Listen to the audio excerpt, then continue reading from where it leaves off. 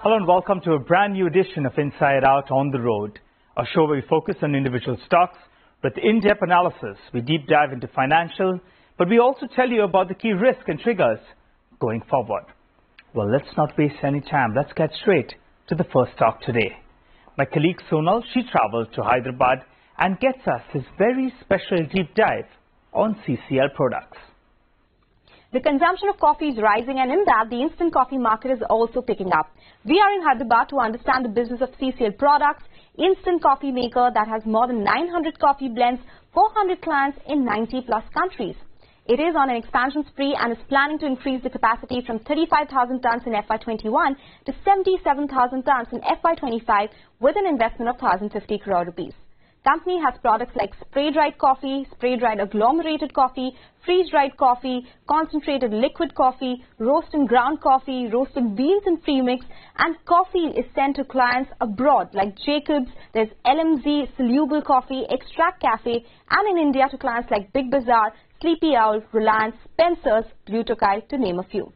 Now about the revenues. There are some segments here. FY23 revenues were at 2,071 crore rupees, out of which Continental Coffee's 10% of revenues, which has branded and private label. Standalone business is 44% of revenues, which is domestic bulk and export sales.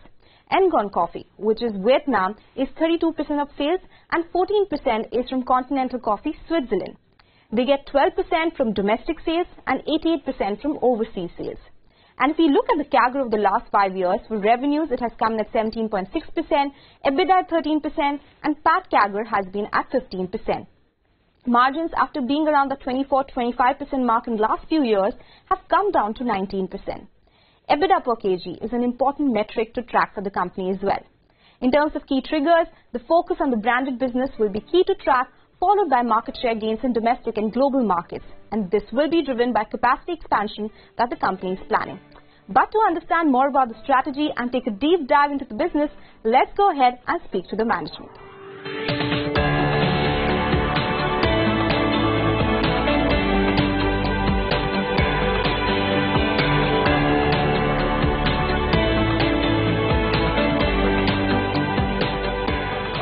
Time to understand everything about CCL Products business. As promised, we have the managing director of the company, Challa Srishant, and he's here to tell us everything about the business and also how does instant coffee reach your home.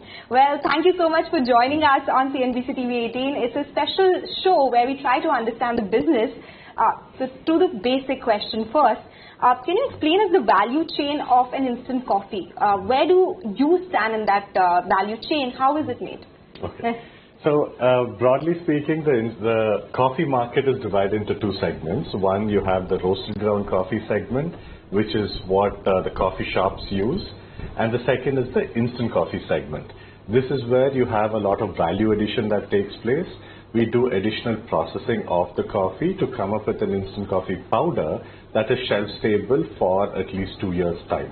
Okay. So uh, when we say that, can you give us an example as to how much quantity leads to how much coffee? Say if you use 1 kg of uh, coffee seed, how much of an instant coffee is made out of it? So typically we need about two and a half kilos of uh, raw material, that's green coffee, to come up with one kilo of finished product.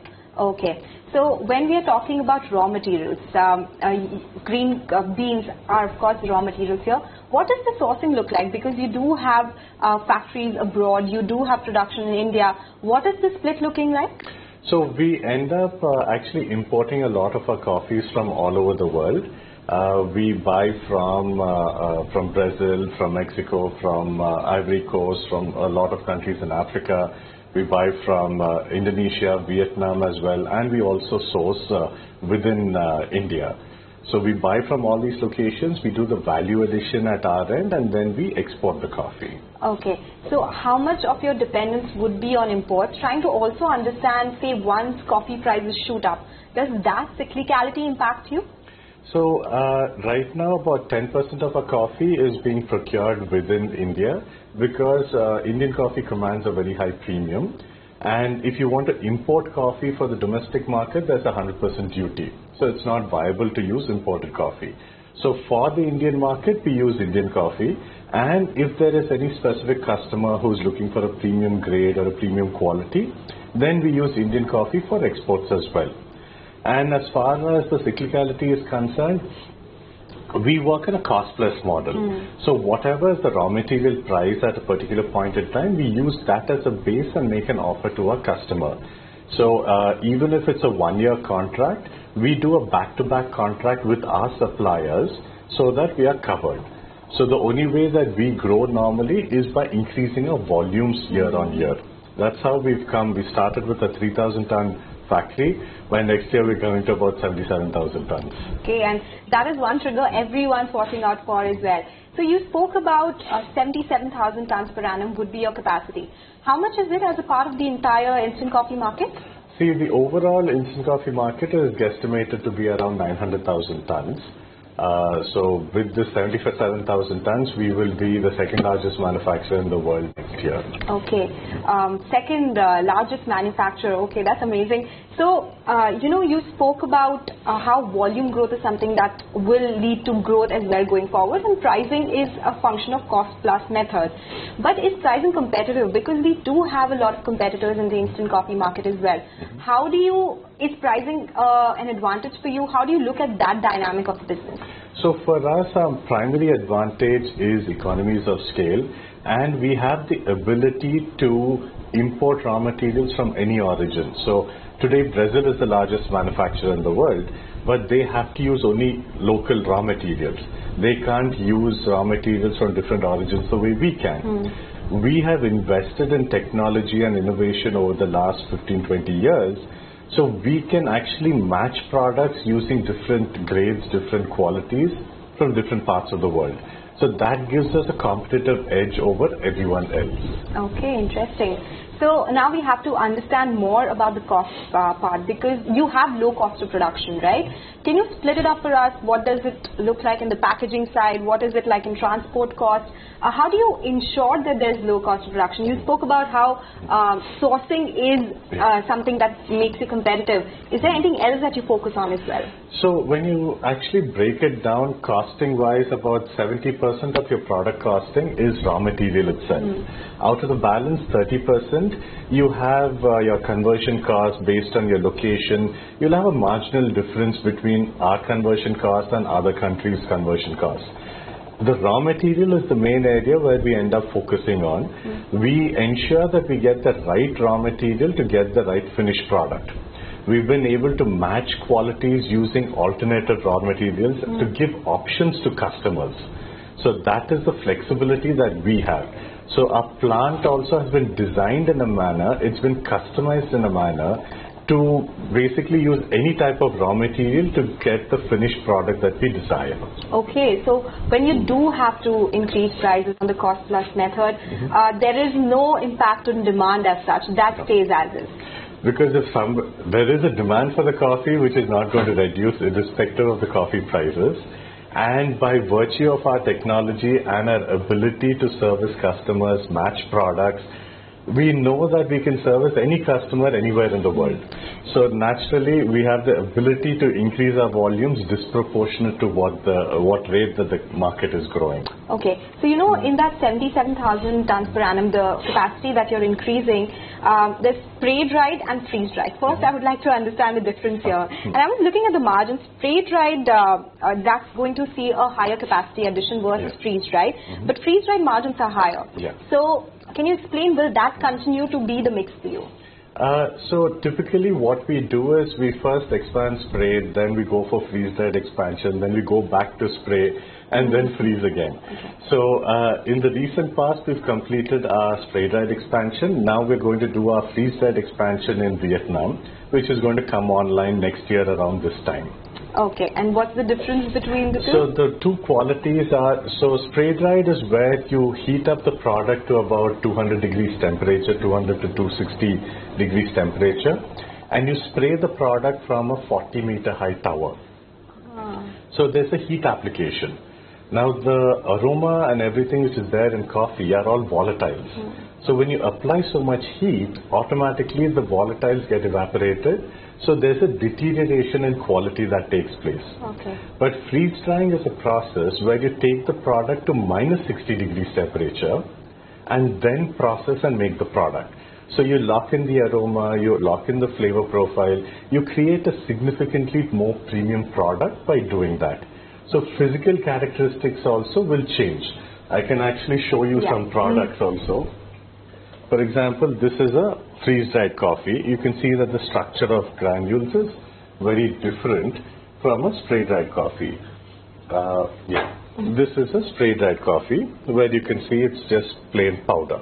Oh, okay. So there's a physical difference in uh, the products. Okay, so it's a masterclass not only for investors but every coffee lover who loves to brew their own coffee or buy it from CCL products. But thank you for explaining that to us. Um, you know, you spoke about your growth will come in from volumes as well. So, uh, what kind of volume growth are you looking at with the new capacity coming in? When will it see full level of capacity utilization? And what happens to return ratios once these new capacities come in because they will not be working at full capacity utilization initially, right? Yeah. So one good thing for us is uh, it takes uh, about 30% utilization itself is enough for a break even for us. Uh, when we have to go in for expansion, we don't directly go in for expansion first. We first start building a market, and only when we are confident that we can sell more, we go in for our expansion. So what we did in the last couple of years was we started outsourcing our production to other manufacturers as well. Now that we've built up a customer base, we have that confidence that we can go in for further expansion. And first year itself, we are operating at about 50% utilization, and we're looking at increasing our overall volumes at a 20% year-on-year.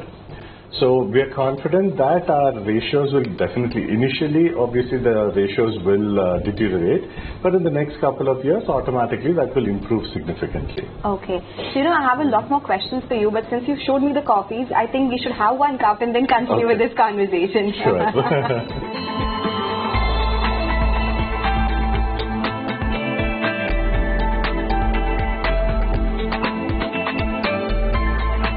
okay, so you're making me some coffee? Yes, so both have been pre-configured. So you just have to tap this and you'll get your coffee. Should I just tap? Just tap it down.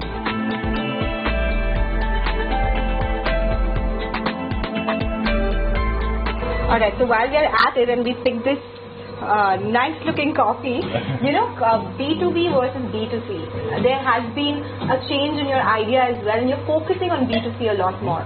What will the mix look like going forward? How are you focusing on marketing on this one?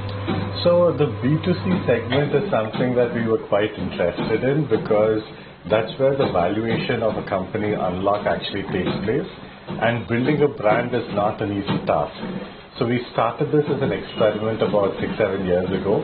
Uh, then we reached a certain minimum scale that we felt that we should professionalize and take it forward. And after professionalizing, our volume started growing as well.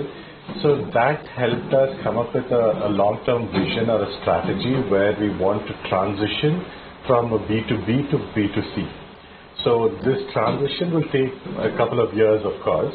But the idea is that maybe over the next uh, seven to ten years, we want to have at least 50% of our business coming from B2C segment. Okay, so uh, when we talk about that, it's still it's 10% of your business right now. It's Yeah. still loss making, right?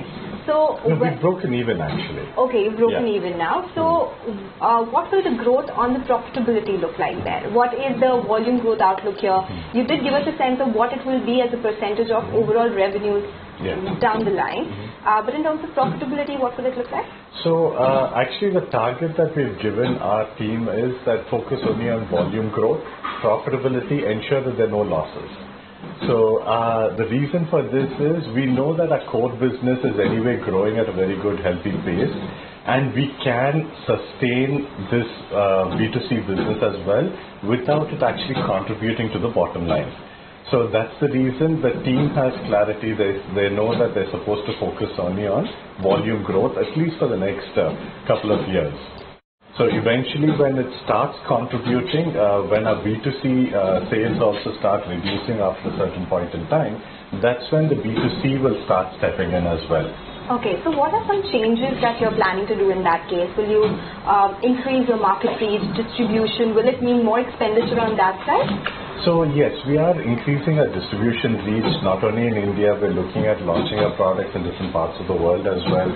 So we've acquired this brand uh, called Rocket Fuel and Percol in the UK. So with our brand presence over there also, we are slowly transitioning from the B2B to B2C. Okay. So um, when we talk about those changes as well, um, uh, you know, this question has been asked to you a lot of times, but are you looking at a new FMCG head there? Will it be a separate entity altogether? Will you look at listing it as well? Because you spoke about get this business getting higher valuation. So uh, initially we thought we will separate it, but today we're actually in the process of demerging and merging it with the parent company. We're consolidating the entire coffee business under one roof. So from uh, next month onwards especially, the entire B2B and B2C verticals will be under the same uh, company. Okay, so no plans of demerging, uh, you know, looking at it as a separate vertical and listing it or anything? No, not And right uh, you're looking at a separate head, FMCG head for that business? No, so our CEO right now who's in place was brought in for this specific purpose. So he's building his team as well. So he's bringing in a lot of new people for the international market as well, for the new areas that we are going to be launching our products also. Okay. So, you know, you are talking about focusing on the B2C business. You spoke about this segment as well. What will EBITDA per kg look like? I'm not asking about margins because you have told us in the past EBITDA per kg is important to track. And what would be a possible downside risk to all the uh, guidance or projections that you have in place? So, uh, with respect to our core business, which is now like what 99% is coffee, less than 1%, less than half a percent of what we do will be these niche products and categories. So, uh, in the near future, we don't really see any significant change as such. We are looking at uh, growing this B2B segment much more aggressively as well. So, we are confident we can sustain our margins as well. In fact, if we have to fill our capacities, if we have to grow by a 40% year on year, we have the ability to do that is if we sacrifice on our margins. Hmm. But we are not doing that. We wanted to grow in a more sustainable manner. Okay, 20% volume growth with hmm. sustainable margins is what you're looking at. Okay, it was a strong interview that we had, a conversation that is. Thank you so much for joining us today and explaining to us everything about CCL products hmm. and the outlook as well. Thanks a lot. Thank you. Okay, with that, uh, it's a wrap on this segment and with that, it's back to you in the studios. All right, that was a deep dive into CCL products. But time to slip into a short break. We'll come back with another interesting stock that we're going to explain to you. Uniparts, that's the stock on our Spotlight segment. You don't go anywhere.